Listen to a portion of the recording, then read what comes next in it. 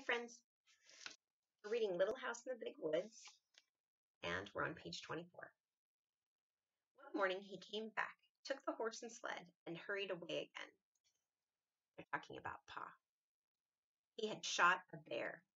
Laura and Mary jumped up and down and clapped their hands. They were so glad. Mary shouted, I want the drumstick! I want the drumstick! Mary did not know how a big how big a bear's drumstick was.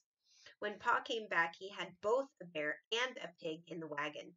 He had been going through the woods with a big bear trap in his hands and a gun on his shoulder. When he walked around a big pine tree covered with snow, and the bear was behind the tree. The bear had just killed the pig and was picking it up to eat it. Pa said the bear was standing up on its hind legs, holding the pig in its paws, just as though they were hands.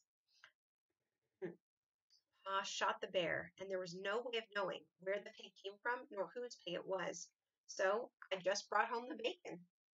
Pa said there was plenty of fresh meat to last for a long time. Excuse me.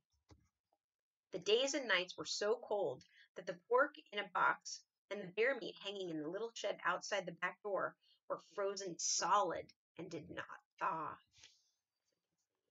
What's happening in this picture? You imagine it being so cold that the meat freezes solid outside? When Ma wanted fresh meat for dinner, Pa took the axe and cut off a chunk of frozen bear meat or pork. The sausage balls, or the salt pork, or the smoked hams and the venison Ma could get for herself from the shed or the attic. The snow kept coming till it was drifted and banked against the house. In the mornings the window panes were covered with frost, and in beautiful pictures of trees and flowers and fairies. If it gets cold enough in the winter, you can see frost on your window, window. And sometimes the way that the ice freezes and crystallizes looks like beautiful little snowflakes and flowers. Check it out if we have a very, very, very cold day this winter. Ma said that Jack Frost came in the night and made the pictures while everyone was asleep. Laura thought that Jack Frost was a little man all snowy white, wearing a glittering white pointed cap and soft white knee boots made of deerskin. His coat was white and his mittens were white, and he did not carry a gun on his back, but in his hands he had shining, sharp tools with which he carved the pictures. Laura and Mary were allowed to take Ma's thimble and make pretty patterns of circles in the frost on the glass, but they never spoiled the pictures that Jack Frost had made in the night. When they put their mouth mouths close to the pane and blew their breath on it.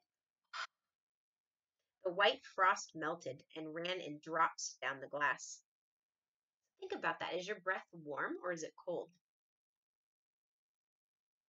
Then they could see the drifts of snow outdoors and the great trees standing bare and black, making thin blue shadows on the white snow.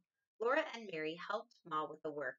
Every morning there were dishes to wipe, Mary wiped more of them than Laura because she was bigger, but Laura always wiped carefully her own little cup and plate.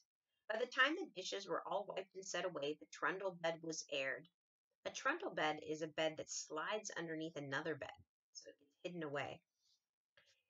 Then, standing one on each side, Laura and Mary straightened the covers, tucked them in well at the foot and the sides of the bed, plumped up the pillows, and put them in place. Then Ma pushed the trundle bed into its place under the big bed. After this was done, Ma began the work that belonged to that day. Each day had its own proper work.